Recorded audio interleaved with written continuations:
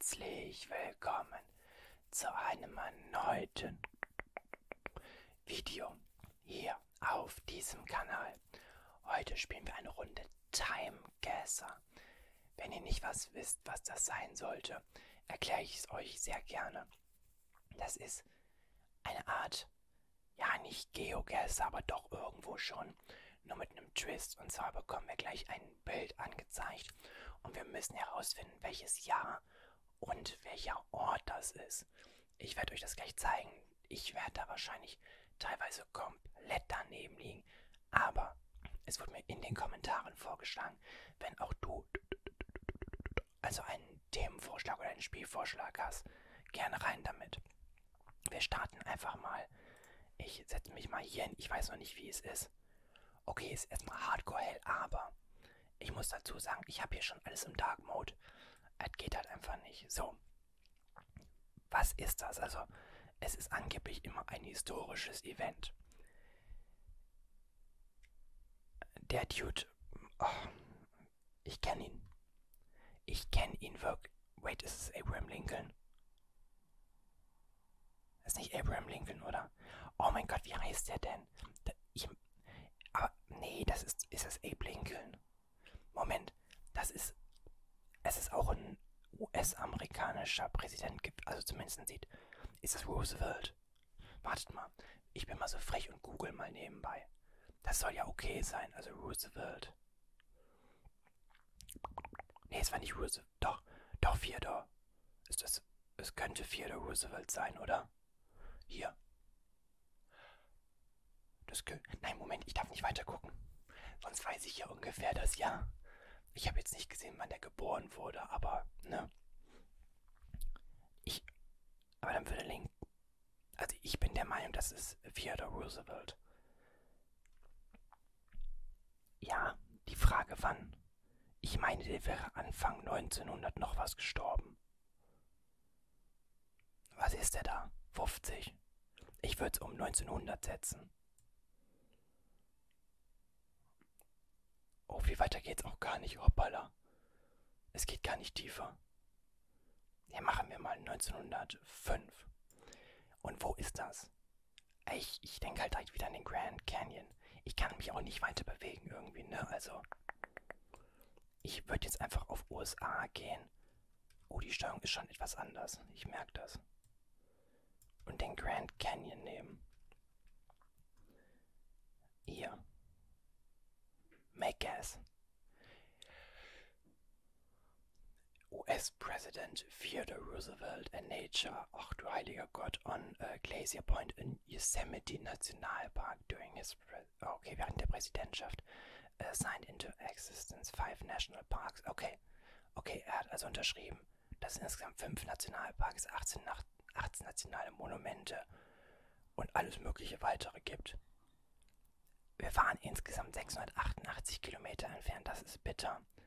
Und es war 1903. Ja, das ist gut gewesen. Also wir haben 8, oh, wartet mal. Wir haben insgesamt 8612 Punkte von 10.000 bekommen. Oh, dass ich Theodore Roosevelt noch erkannt habe und nicht auf Abe Lincoln, wie auch immer. Aber Vierter, gut. Nice. Let's go. Weiter. Okay, Bill Clinton. Oh, wer sind die Boys nochmal? Ich kenne sie doch.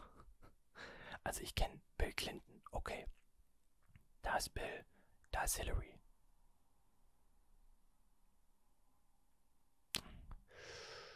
Ja. Was ist das hier? Ireland. Hier liegen ein paar Bücher. Friends of Art and Preservation in Embassies. Tenth Universal in. Oh mein Gott, zehnte, okay. Sie ist auf jeden Fall happy. Aha.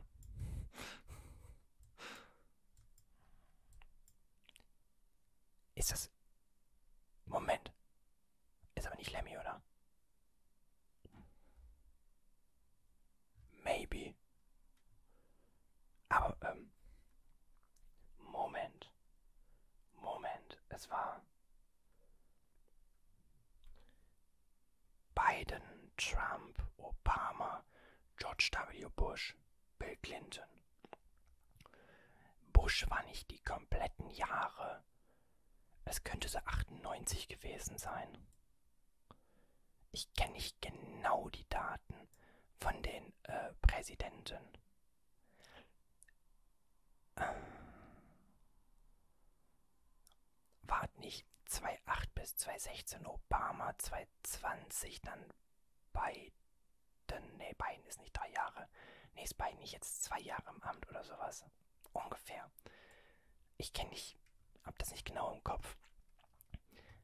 Aber ich meine, es wäre wirklich vor Obama war George, George W. Bush, davor müsste Bill Clinton gewesen sein und davor müsste George Bush der Ältere gewesen sein. Äh, ich wollte nicht nach New York, ich wollte eigentlich ins Weiße Haus gehen, vielleicht. Maybe. I don't know. Ein bisschen gassen jetzt. Äh, gehen wir hier zum Weißen Haus. Wird einfach mal. Also Oval Office ist es ja offensichtlich nicht. Zack. Und 98 müsste ungefähr passen. Es ist 98. Aber es war eine komplett andere. Oh, es war U2. Daher, ja lol. Okay, der Ort ist komplett mies. Also wir waren 5437 Kilometer entfernt. Aber 9, 1998 war spot on. Das ist ja schon mal etwas, aber trotzdem nur 5412 Punkte. Ja, okay.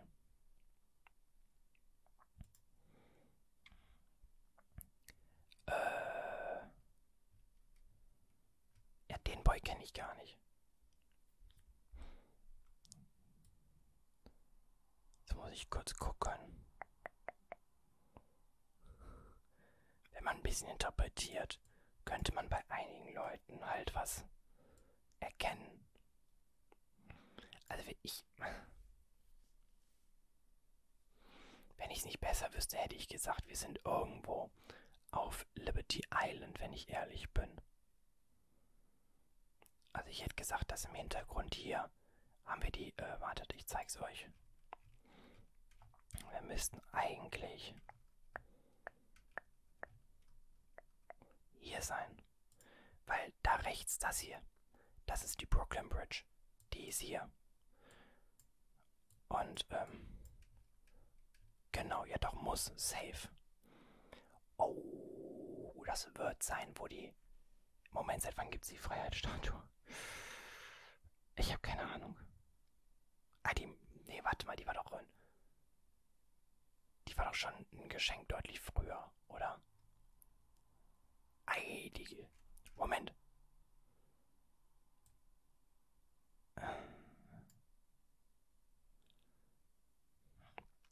Mir sagt ihr Gesicht was. Ich habe irgendwie im Kopf, ist das die... F nee, ich... Ich setze mich jetzt nicht in die Brennnesseln. Ich wollte gerade sagen, ist das die Vorgängerin von Queen Elizabeth, die zweite oder sowas? Aber ich würde sagen, das Bild ist halt hardcore. Ich würde echt fast hier mal so auf 1907 gehen. Let's go. Es war 1965. Lyndon B. Johnson signing the Immigration Act. Au, das hätte ich wissen können. Okay. Ich hatte Lyndon B. Johnson ehrlicherweise null auf den Kopf. Äh, auf, auf, äh, im Kopf.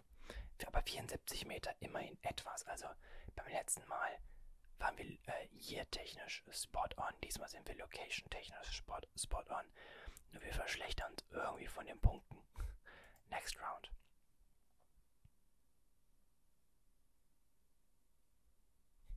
Das finde ich jetzt mal ein gutes Bild. Sage ich euch so, wie es ist. Doch, da sehe ich uns auf jeden Fall. Das ist eindeutig in Madrid. Und das war eindeutig der, ähm, der Sieg hier 2005 ist da, so der hier. Okay, a meeting for the Democratic Union in... Okay, never mind. Nicht mal ansatzweise. Schade. Oh, also, ne, was soll ich machen?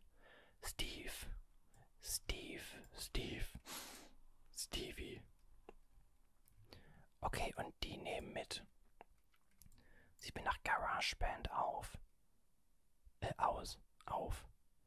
Kenne ich aber überhaupt nicht, den Dude. Ja, das muss ja dann irgendwo hier. Moment. Das wird ja dann in Richtung. Ist es. Nee, ist es LA? Moment, wo hat Apple nochmal seinen Hauptsitz?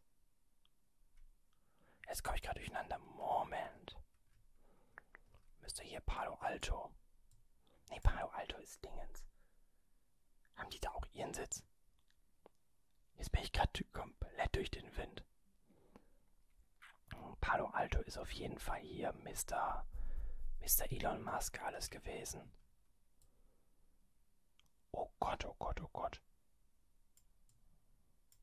Moment, haben die. War das San Francisco oder war das LA? LA wäre mir jetzt gerade ehrlicherweise neu. Nee, war das LA oder San Francisco? Oh nein, jetzt ist bitter. Das ist jetzt bitter. Warte mal, sehe ich hier was? Lass uns erstmal kurz überlegen. Ich müsste, es müsste so 210 gewesen sein. Würde ich schätzen. Ach, Steve Jobs zu sehen, tut mir im Herzen weh. Nennt mich Apple Jünger, aber ist mir egal. Ich gehe auf San Francisco, das kann ja so nicht sein. Also. Wartet mal, wartet mal, wartet mal, wartet mal. Power, Palo Alto. So, ähm. Hier ist die Stanford University. Nee, hier bin ich zu hoch. Hier bin ich ja schon am SFO. Oh, hier möchte ich auch gerne mal hin, echt. Ich finde diese Stadt so faszinierend mit ihrem Hoch und runter, hoch und runter. Lasst mich mal gucken. So, hier sind wir wieder bei Palo Alto. Das Problem ist halt, auch hier wird relativ, relativ, relativ wenig angezeigt. Oh, da, Ikea. Da sehe ich mich ja. Mountain View. Costco, ja nice. Moment, müsste das nicht Apple Park? Also natürlich war Apple damals noch woanders. Aber ungefähr einen Gas dafür haben wir dann schon mal. Also ich meine, waren die nicht früher ein bisschen tiefer? Möglich. Möglich. Ich frage mich gerade, welcher Boy das ist. Und noch er hier. Ich sag dir so, wie es ist, ich kenne ihn nicht. Sieht man denn da was an der... Das ist nur B -B -B Gitar AAA oder 1, glaube ich, irgendwie sowas. Die nehmen schon 20 Sekunden auf. Steve sieht ja, noch lebendig aus. Scheiße. 2.10 müsste passen ungefähr. Es war 2.5 und es war John Mayer. Oh nee, okay, ja, höre ich überhaupt nicht. Performing at Macworld to reveal GarageBand. Steve Jobs appears in the background. Ja, ja, okay, Steve Jobs war ja klar. Es war hier oben. Okay, sie Ah, lul, sie waren nicht weiter unten, sie waren weiter oben. Und fünf Jahre. Fünf, gibt es GarageBand schon seit 2005. Holy moly. Aber 60 Kilometer entfernt und fünf Jahre entfernt. 8557 von 10.000 Punkten ist gar nicht mal so schlecht. Final Score. Achso, das ist ja jetzt, ist jetzt antiklimatisch. Ich dachte, hier wird jetzt nochmal kurz gezeigt, was was war.